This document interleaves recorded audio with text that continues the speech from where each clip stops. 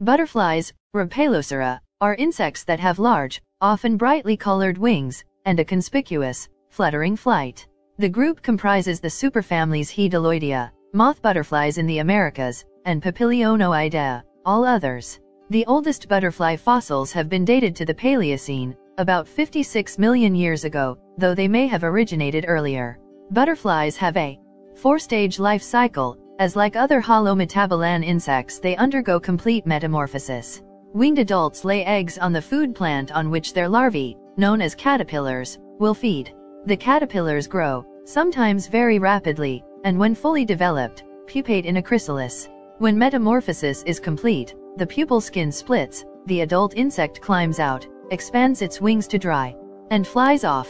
Some butterflies, especially in the tropics, have several generations in a year, while others have a single generation, and a few in cold locations may take several years to pass through their entire life cycle.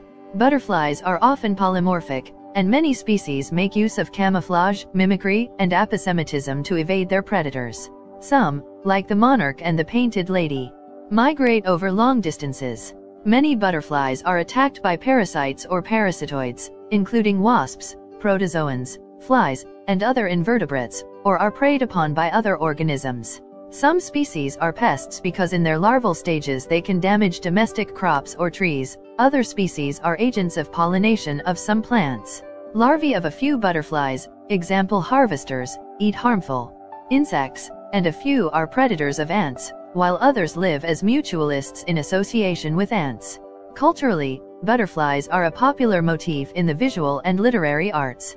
The Smithsonian Institution says butterflies are certainly one of the most appealing creatures in nature. The Oxford English Dictionary derives the word straightforwardly from Old English butterfliage, butterfly, similar.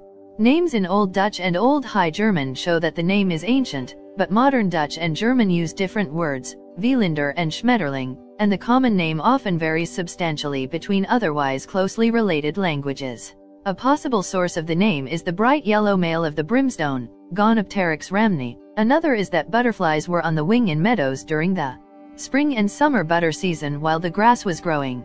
The earliest Lepidoptera fossils date to the Triassic-Jurassic boundary, around 200 million years ago. Butterflies evolved from moths, so while the butterflies are monophyletic, forming a single clade, the moths are not. The oldest known butterfly is Protocoeliades kristenseni from the Paleocene-aged fur formation of Denmark approximately 55 million years old, which belongs to the family Hesperiidae, skippers. Molecular clock estimates suggest that butterflies originated sometime in the mid-Cretaceous, but only significantly diversified during the Cenozoic, with one study suggesting a North American origin for the group. The oldest American butterfly is the late Eocene Prodryas persephone from the Florissant fossil beds, approximately 34 million years old. Butterflies are distributed worldwide except Antarctica, totaling some 18,500 species. Of these, 775 are Nearctic, 7,700 Neotropical, 1,575 Palearctic, 3,650 Afrotropical, and 4,800 are distributed across the combined Oriental and Australian-Oceania regions. The monarch butterfly is native to the Americas, but in the 19th century or before, spread across the world, and is now found in Australia, New Zealand, other parts of Oceania, and the Iberian Peninsula. It is not clear how it dispersed, adults may have been blown by the wind or larvae or pupae may have been accidentally transported by humans, but the presence of suitable host plants in their new environment was a necessity for their successful establishment. Many butterflies, such as the painted lady, monarch, and several danaine migrate for long distances. These migrations take place over a number of generations and no single individual completes the whole trip. The eastern North American population of monarchs can travel thousands of miles southwest to overwintering sites in Mexico. There is a reverse migration in the spring. It has recently been shown that the British Painted Lady undertakes a 9,000-mile round trip in a series of steps by up to six successive generations, from tropical Africa to the Arctic Circle almost double the length of the famous migrations undertaken by Monarch L. Spectacular large-scale migrations associated with the monsoon are seen in peninsular India. Migrations have been studied in more recent times using wing tags and also using stable hydrogen isotopes. Butterflies navigate using a time-compensated sun compass. They can see polarized light and therefore orient even in cloudy conditions. The polarized light near the ultraviolet spectrum appears to be particularly important. Many migratory butterflies live in semi-arid areas where breeding seasons are short. The life histories of their host plants also influence butterfly behavior. Butterflies in their adult stage can live from a week to nearly a year depending on the species. Many species have long larval life stages while others can remain dormant in their pupal or egg stages and thereby survive winters. The Melissa arctic, Oeneis melissa, overwinters twice as a caterpillar. Butterflies may have one or more broods per year. The number of generations per year varies from temperate to tropical regions with tropical regions showing a trend towards multivoltinism. Courtship is often aerial and often involves pheromones. Butterflies then land on the ground or on a perch to mate. Copulation takes place tail to tail and may last from minutes to hours. Simple photoreceptor cells located at the genitals are important for this and other adult behaviors. The male passes a spermatophore to the female. To reduce sperm competition, he may cover her with his scent, or in some species such as the Apollo, Parnassius, plugs her genital opening to prevent her from mating again. The vast majority of butterflies have a four-stage life cycle, egg, larva, caterpillar, pupa, chrysalis, and imago, adult. In the genera Colias, Erebia, Euchloe, and Parnassius, a small number of species are known that reproduce semi-parthenogenetically. When the female dies, a partially developed larva emerges from her abdomen. Butterfly eggs are protected by a hard-ridged outer layer of shell, called the chorion. This is lined with a thin coating of wax which prevents the egg from drying out before the larva has had time to fully develop. Each egg contains a number of Tiny funnel-shaped openings at one end, called micropyles, the purpose of these holes is to allow sperm to enter and fertilize the egg. Butterfly eggs vary greatly in size and shape between species, but are usually upright and finely sculptured. Some species lay eggs singly, others in batches. Many females produce between 100 and 200 eggs. Butterfly eggs are fixed to a leaf with a special glue which hardens rapidly. As it hardens it contracts, deforming the shape of the egg. This glue is easily seen surrounding the base of every egg forming a meniscus.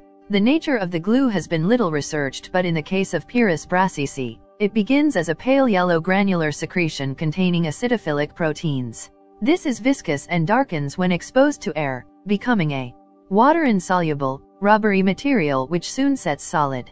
Butterflies in the genus Agathymus do not fix their eggs to a leaf, Instead the newly laid eggs fall to the base of the plant. Eggs are almost invariably laid on plants. Each species of butterfly has its own host plant range and while some species of butterfly are restricted to just one species of plant, others use a range of plant species, often including members of a common family. In some species, such as the great spangled fritillary, the eggs are deposited close to but not on the food plant. This most likely happens when the egg overwinters before hatching and where the host plant loses its leaves in winter, as do violets in this example. The egg stage lasts a few weeks in most butterflies, but eggs laid close to winter, especially in temperate regions, go through a diapause, resting, stage, and the hatching may take place only in spring. Some temperate region butterflies, such as the Camberwell beauty, lay their eggs in the spring and have them hatch in the summer. Butterfly larvae, or caterpillars, consume plant leaves and spend practically all of their time searching for and eating food. Although most caterpillars are herbivorous, a few species are predators. Spalgis epius eats scale insects, while lycaenids such as Liphyra solis are myrmecophilous, eating ant larvae. Some larvae, especially those of the Lycaenidae, form mutual associations with ants. They communicate with the ants using vibrations that are transmitted through the substrate as well as using chemical signals. The ants provide some degree of protection to these larvae and they in turn gather honeydew secretions. Large blue, Phengaris arion, caterpillars trick Myrmica ants into taking them back to the ant colony where they feed on the ant eggs and larvae in a parasitic relationship. Caterpillars mature through a series of developmental stages known as instars. Near the end of each stage, the larva undergoes a process called apolysis, mediated by the release of a series of neurohormones. During this phase, the cuticle, a tough outer layer made of a mixture of chitin and specialized proteins, is released from the softer epidermis beneath, and the epidermis begins to form a new cuticle. At the end of each instar, the larva molts, the old cuticle splits and the new cuticle expands, rapidly hardening and developing pigment. Development of butterfly wing patterns begins by the last larval instar. Caterpillars have short antennae and several simple eyes. The mouthparts are adapted for chewing with powerful mandibles and a pair of maxillae, each with a segmented palp. Adjoining these is the labium hypopharynx which houses a tubular spinneret which is able to extrude silk. Caterpillars such as those in the genus Calpodes, family Hesperiidae, have a specialized tracheal system on the eighth segment that function as a primitive lung. Butterfly caterpillars have three pairs of true legs on the thoracic segments and up to six pairs of prolegs arising from the abdominal segments. These prolegs have rings of tiny hooks called crochets that are engaged hydrostatically and help the caterpillar grip the substrate.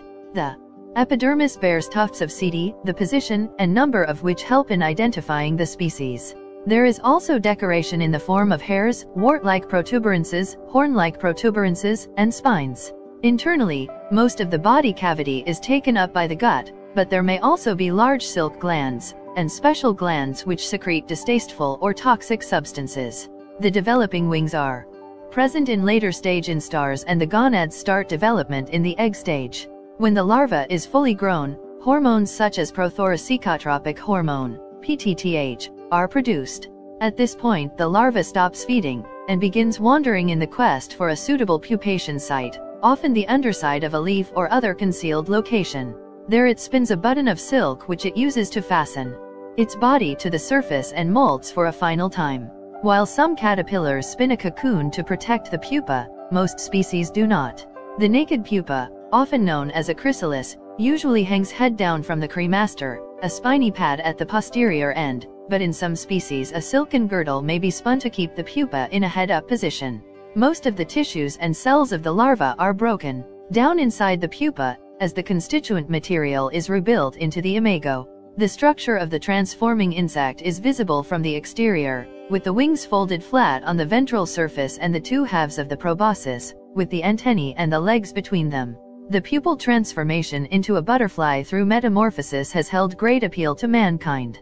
To transform from the Miniature wings visible on the outside of the pupa into large structures usable for flight, the pupal wings undergo rapid mitosis and absorb a great deal of nutrients. If one wing is surgically removed early on, the other three will grow to a larger size. In the pupa, the wing forms a structure that becomes compressed from top to bottom and pleated from proximal to distal ends as it grows, so that it can rapidly be unfolded to its full adult size. Several boundaries seen in the adult color pattern are marked by changes in the expression of particular transcription factors in the early pupa.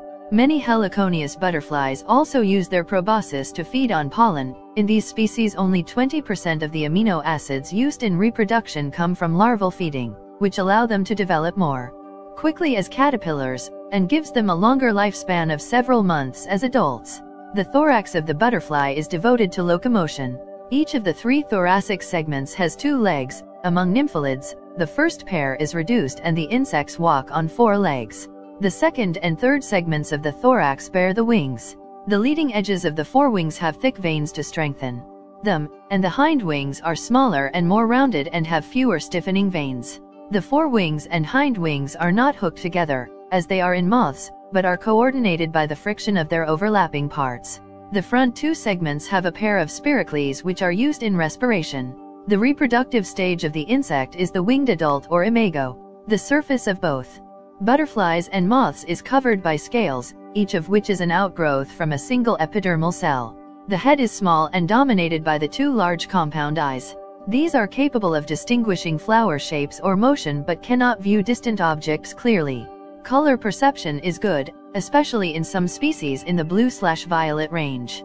The antennae are composed of many segments and have clubbed tips, unlike moths that have tapering or feathery antennae. The sensory receptors are concentrated in the tips and can detect odors. Taste receptors are located on the palps and on the feet. The mouthparts are adapted to sucking and the mandibles are usually reduced in size or absent. The first maxillae are elongated into a tubular proboscis which is curled up at rest and expanded when needed to feed. The first and second maxillae bear palps which function as sensory organs. Some species have a reduced proboscis or maxillary palps and do not feed as adults. The abdomen consists of 10 segments and contains the gut and genital organs. The front 8 segments have spiracles and the terminal segment is modified for reproduction. The male has a pair of clasping organs attached to a ring structure, and during copulation, a tubular structure is extruded and inserted into the female's vagina. A spermatophore is deposited in the female, following which the sperm make their way to a seminal receptacle where they are stored for later use.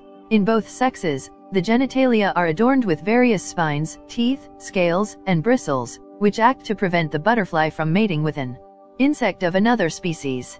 After it emerges from its pupal stage, a butterfly cannot fly until the wings are unfolded.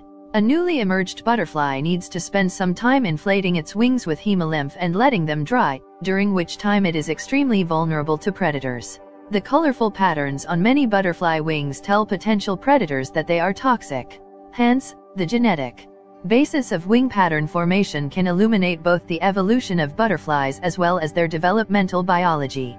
The color of butterfly wings is derived from tiny structures called scales, each of which have their own pigments. In heliconius butterflies, there are three types of scales, yellow slash white, black, and red slash orange slash brown scales. Some mechanism of wing pattern formation are now being solved using genetic techniques.